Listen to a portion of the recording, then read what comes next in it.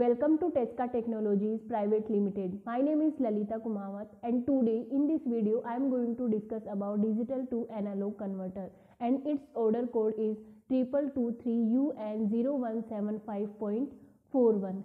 Basically digital to analog converter is used to convert the digital signal into the analog signal and it is used in telephone, music, etc. systems.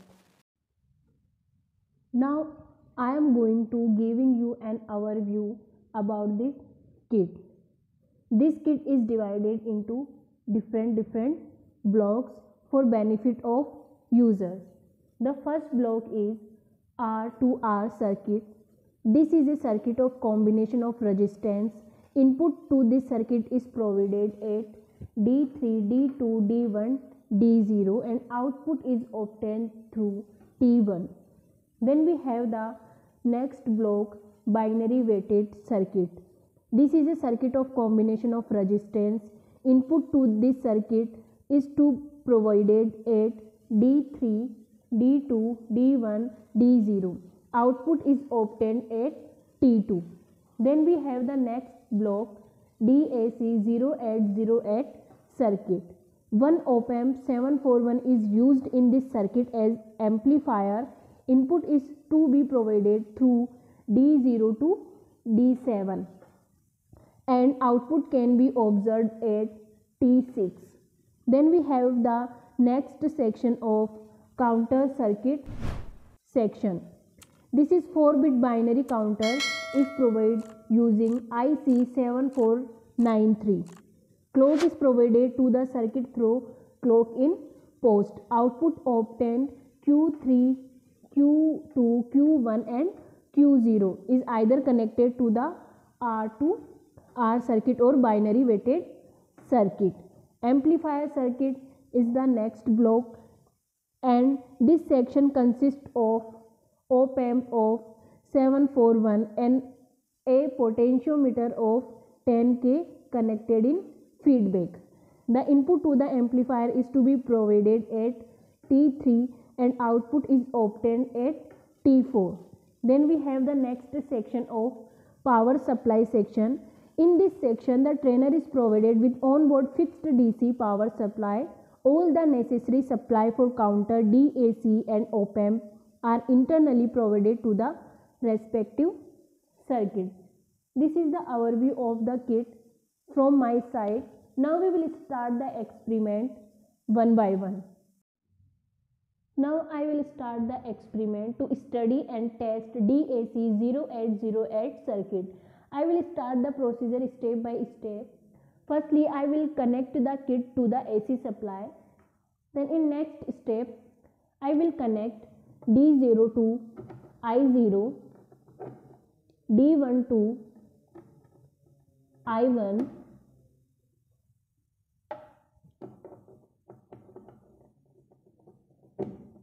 D2 to I2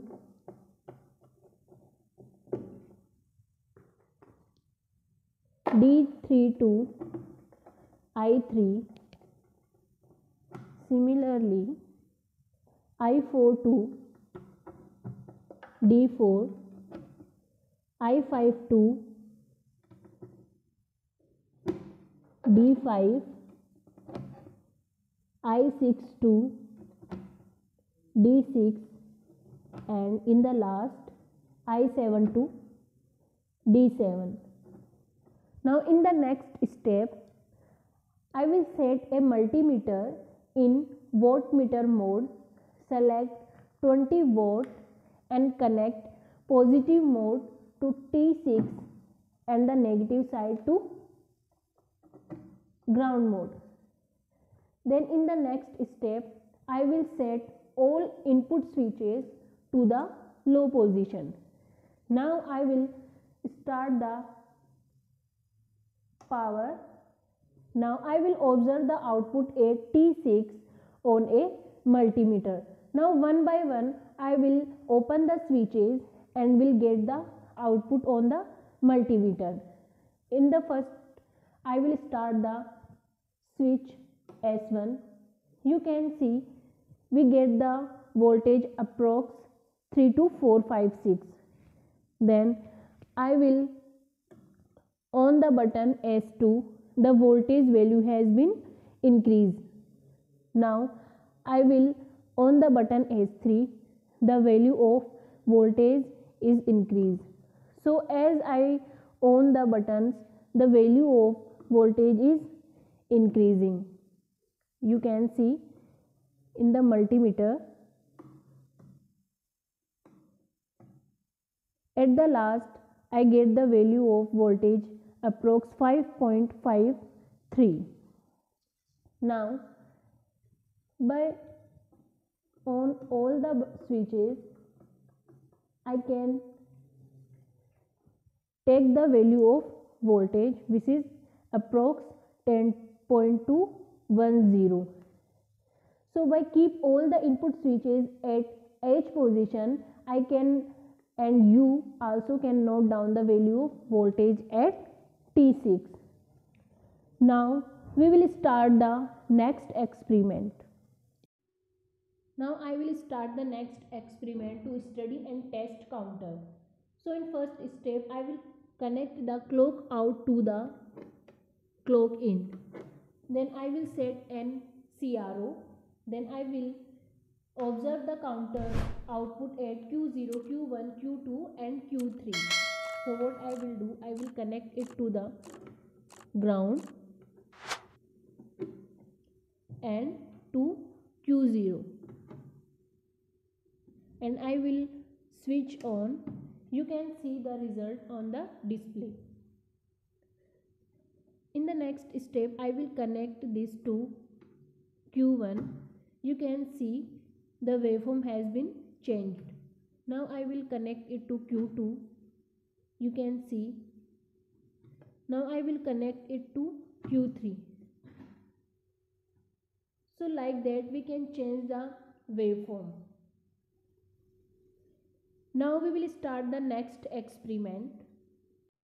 Now I will start this experiment to study and test counter circuit so firstly I will connect clock out to the clock in. Then I will connect D0 to Q3 D1 to Q2 D2 to Q1 and D3 to Q0 and then I will connect the channel 1 to the ground and the T1.